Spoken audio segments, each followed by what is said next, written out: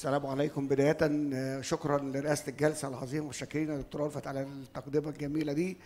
آه، بشكر برضو الأستاذة دكتورة ماهر خلي قسم الأمراض الصدرية بطب أسيوط على الدعوة الكريمة إن أنا أبقى مشارك معاهم في المؤتمر. أنا حقيقة ما بكتب اسمي ما بحطش هكتبه إن أنا بروفيسور في أسيوط بعد ال- القيادة الهادئة للدكتورة مها الحقيقة بحث قسم الصدر اليومين دول على ال- اللي هم مع الدكتورة مها إن شاء الله ويبقوا كويسين.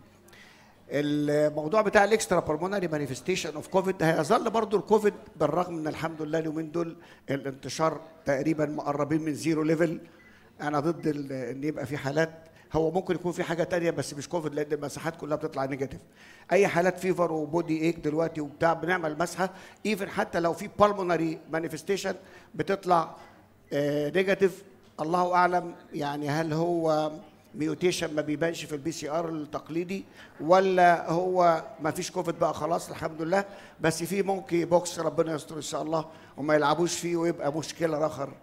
آه، ال extra pulmonary أنا كنت فاكرها حاجة صغيرة طلعت حاجة كبيرة بس هنحاول نلمها بسرعة. طبعا هو الأساس عندنا ال pulmonary وهو ده المشكلة لأنه بيعمل ARDS وده اللي تقريبا هو ال main cause of death لكن في extra pulmonary manifestation كتيرة. كل ال systems دي بتتاخد وكلنا شفنا الحالات. either hematologic cardiovascular renal gastrointestinal hepatobiliary endocrine neurology ophthalmic dermatology أي حالة في الجسم فيها ACE 2 يبقى على طول الفيروس ممكن يشبك ويخش فيها. ويمكن ده ملخص آه، لمعظم الحالات أو لمعظم ال extra pulmonary manifestation systems كلها متاخدة. وده ال ال ال- يعني ال conclusion بتاعنا بس إحنا هناخده تفاصيلا سريع السريع كده. ال pathophysiology إحنا عندنا ال spike protein يا إما S 1 يا إما S 2 الاثنين ليهم role ال S 1 determines the host range and tropism and facilitate virus attachment to the target cells. لكن ال... في عندنا ال serine protease transmembrane اللي هو ال S 2 ده بي- بي prime الدخول قبل ما يخش على ال ACE 2 receptor ال spike sub units of SARS-CoV engage ACE2 receptors. As an entry receptor SARS demonstrate higher affinity لل ACE 2 receptors وده يمكن اللي بيخليه يبقى في ال neurology وفي ال respiratory وفي ال renal وفي ال vascular أكتر. دول ال four mechanisms اللي بيعملوا لنا ال extra pulmonary manifestation هم اللي بيعملوا ال pulmonary manifestation هم كمان اللي بيعملوا ال extra pulmonary manifestation يا اما direct cytotoxicity يا إما dysregulation of renin angiotensin aldosterone syndrome يا إما endothelial cell damage يا إما dysregulation of the immune response لو إحنا جينا على ال direct cell damage هو الفيروس هياخد هيعمل cytotoxic على طول على الطريق إن هو يخش. ال ACE 2 بقى الغريب إن هو دي ال schema دي جايبة توزيعة ال ACE 2 في ال body كله. الأكتر آه، حاجة موجودة موجودة في ال testis وعلشان كده تقريبا ال gonads بتبقى affected وفي ناس كتيرة جدا هتبقى آه، بعد ال destruction of gonads هيبقى sterile man. ودي يعني هم مش بيتكلموا عليها عشان ما يخوفوش لكن هي دي الحقيقة اللي موجودة سواء ال Leydig cell أو Sertoli cell الاثنين هيبقوا affected والاثنين. بقى دي بقى التوزيعة كلها according to system بس أنا كنت معتقد إن ال pulmonary هو أكتر واحد طلع لا ال testis هي أكتر حاجة فيها ال ACE 2 receptors ال ACE 2 برضه كمان ال endothelial cell ده مش ليه؟ لأن ال vascular كله سواء venous أو arterial كله مليان ACE 2 receptors وعلشان كده برضه الفيروس ممكن يخش ويعمل لنا ال thromboinflammation ويعمل لنا ال thrombosis اللي إحنا شفناه كلنا واللي كنا لما ندي anticoagulant العيان أحيانا يخرخر وما يحصلش تحسن ويحصل still thrombosis لأن هي بتبقى thromboinflammation أكتر منها thrombosis عادية.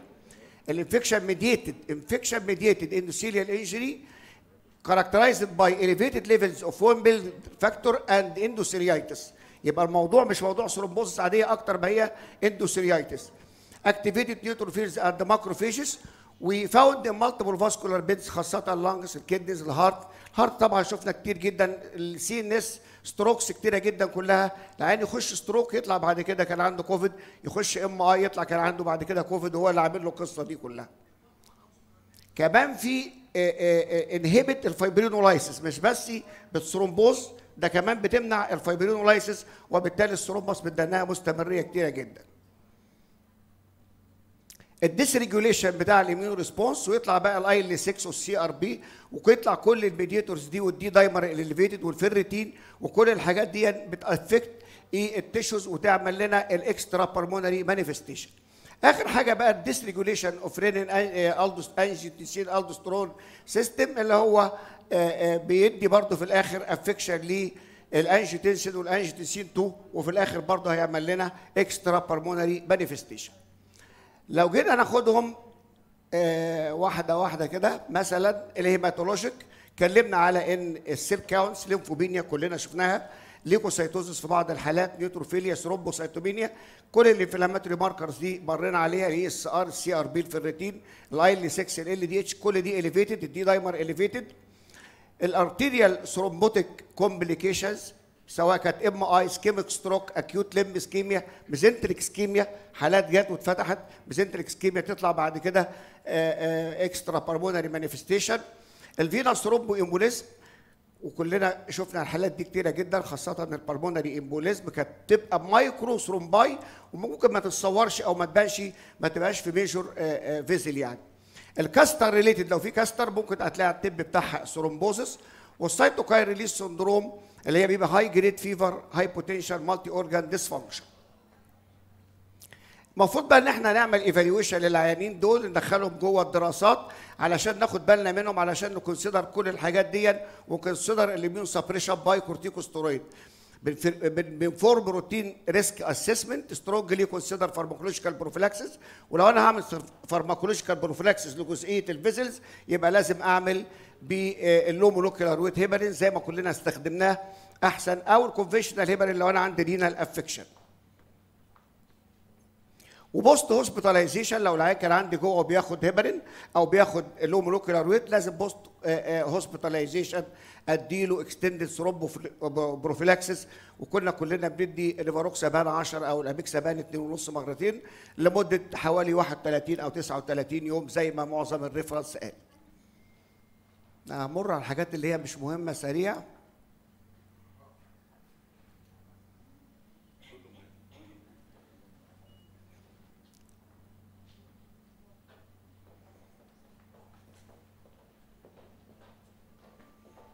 ال cardiovascular manifestation ال cardiac complications يعني هي bidirectional drugs عندنا ال ACE 2 وال ARBs لها role وبيقولوا إن هي بتزود ال susceptibility وهو نفس الفيروس بيأثر على ال heart ففي bidirectional way بين الاثنين ال myocardial injury ال myocarditis ال MI سواء كان type 1 أو type 2 ال type 1 MI ده إن هو بيحصل spontaneous نتيجة لل rupture of atheromatous plaques type 2 بيجي من ال imbalance بين ال supply of oxygen وال demand زي حالات ال severe hypertension ال severe hypotension أو ال stresses كلها بتبقى جاية من بره ال heart. ال two types of MI كانوا بيحصلوا في الكوفيد مش ال type 1 بس اللي كان بيحصل. دي mechanisms خاصة بقى بال heart اللي هو ال cytokine release كان أكتر حاجة بتضر direct myocardial cell injury وال acute coronary syndrome وبعض ال mechanisms الأخرى زي ال immunological mechanisms. ال diagram واضح أهوت وال affection كله مش عايزين نضيع الوقت فيه. myocardial infarction type 1 and type 2 myocarditis arrhythmias severe ventricular malignant ventricular arrhythmias ويقول لك العيان طب ساكت طب ساكت. هو كل ده من ال arrhythmias بعض الحالات انتهت بال cardiomyopathy و cardiogenic shock. ده ال percent تقريبا بتاع ال cardiac manifestation في الكوفيد. ال coronary artery disease ال acute cardiac injury كل دي percentage في الحالات على حسب الدراسات اللي معمولة. cardiogenic shock heart failure 49% من الحالات. هنعمل إيه بقى؟ وناخد بالنا منهم ونصور ونعالج وال non-invasive hemodynamic كل ما تقلل الاحتكاك بال patient بيبقى أفضل. ال catheterization وتصلح على طول ال STEMI وال non-STEMI ال renal برضو أحد ال systems اللي بتبقى affected جدا. كلنا شفنا حالات acute kidney injury و renal cortical necrosis وشفنا حالات hematuria ف ف و ودي كلها في بعض ال patients كلهم انتهوا بأن إحنا عملنا لهم dialysis electrolyte imbalance proteinuria hematuria metabolic acidosis و clotting of extracorporeal circuit هنتابع بال urine analysis هنعمل renal replacement therapy أحيانا نحط العيان يعني اثنين عيانين على مكنة زي ما كانوا بيفكروا يحطوا اثنين عيانين على vent علشان انت عندك مرضى كتير وعندك ال resources قليلة فكنت في الأول محتار. ال gastrointestinal يعني anorexia و nausea و vomiting و hepatobiliary affection و microvesicular steatosis كل ديت حاجات كانت موجودة وكلها جاية من ال direct فيروس injury لل GI. حتى كانوا فترة من الفترات يتكلموا على ال rectal swab وعلى إن ال ال ال الفيروس موجود في 70% في ال stool في حالات الكوفيد. فواضح إن ال GI system واخد شغل كبير يعني. nausea vomiting abdominal pain anorexia mesenteric ischemia طبعا زي ما شفنا ال mesenteric artery occlusion ودي ال hepatic transaminases كانت كلها elevated وال bilirubin elevated وال serum albumin affected 30 ل 40 كان عندهم anorexia diarrhea في 2 ل 50% nausea و vomiting و abdominal pain كل دي manifestation ونسب كانت في الدراسات اللي معمولة في ال affection. endoscopy كل ما نقلل الاحتكاك بالعيان يبقى أفضل. ال hepatobiliary affection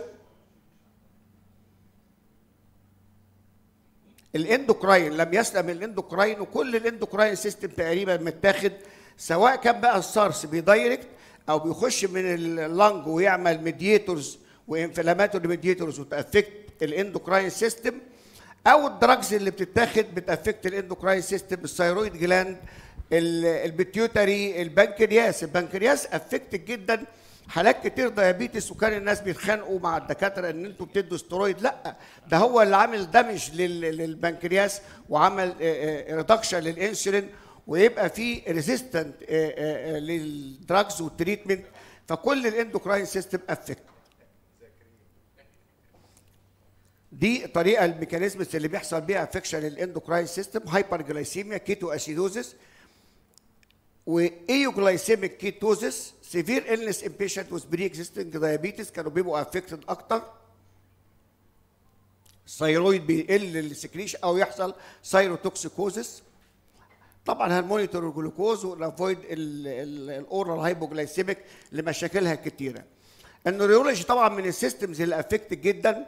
هيدك وديزنس وانوزميا وجوزميا وانوركسيا وميالجيا و stroke حالات كتيرة encephalopathy encephalitis Guillain-Barré syndrome و Miller Fisher اللي هو ال subtype من ال Guillain-Barré syndrome وجدوه في بعض الحالات بيبقى triad من ال ophthalmoparesis وال ataxia وال areflexia اللي هو ال Miller Fisher. كل دي كانت complication أو كانت extrapulmonary manifestation لحالات الكوفيد.